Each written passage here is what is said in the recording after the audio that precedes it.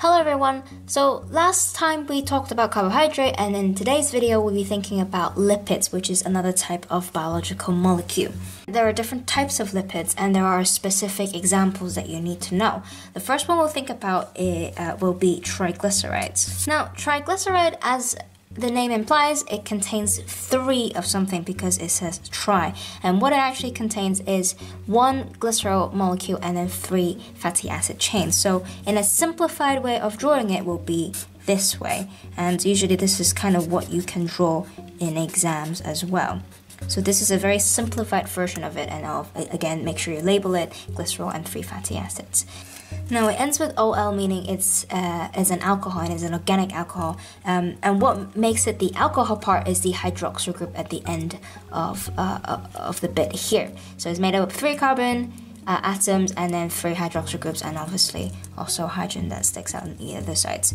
As for each of these three bits here, it's kind of like three ends, so it's connecting to three fatty acids there, so it reacts with them. So the fatty acids, as the name implies, an acid uh, and what it contains is the carboxyl group, which is COOH, and this is kind of what it looks like. There are exam questions where they set the mixed oil and pH indicator in practical and ask students to explain the drop in pH after mixing in lipase. Remember triglyceride is broken down by lipase to release glycerol and fatty acids, and the fatty acids are what make the mixture acidic.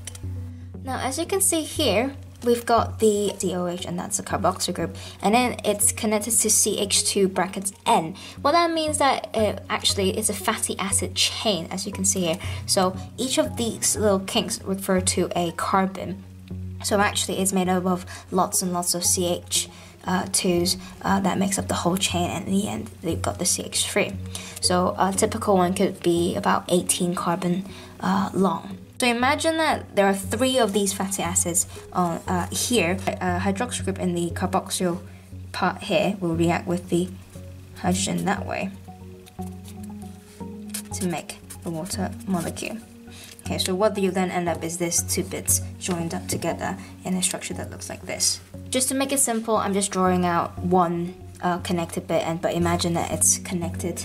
There will be two more uh, fatty acid chain that goes this uh, this bit here uh, as well. So what you'll then get is the ester bond.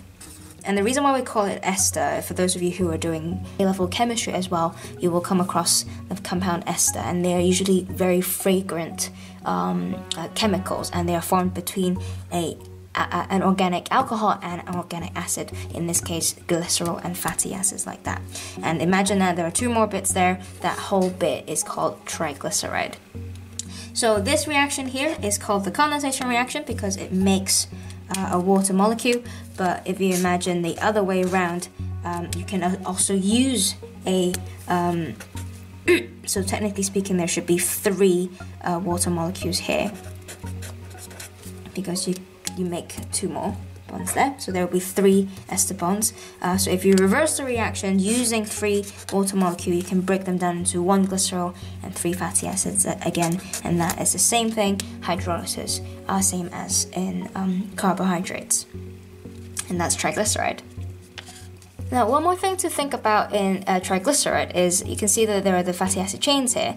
Now, um, if all of these chains are straight uh, single carbon-carbon bonds, that's what we called a saturated fatty acid chain. So that means each of these carbon atoms are saturated, are filled with um, uh, hydrogens on either side.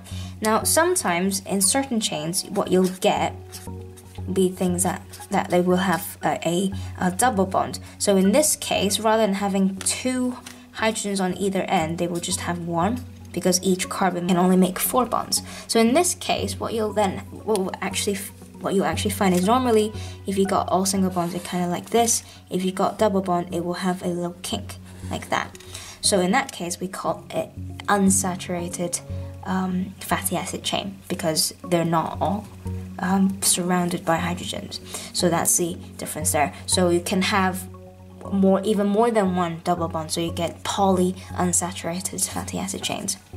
So there are slightly different types uh, within triglyceride